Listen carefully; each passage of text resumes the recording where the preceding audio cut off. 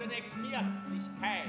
Siehst da fragt man sich, wer sorgt dafür, dass mir die Leute so gut geht da hier. Gott selbst hat uns aus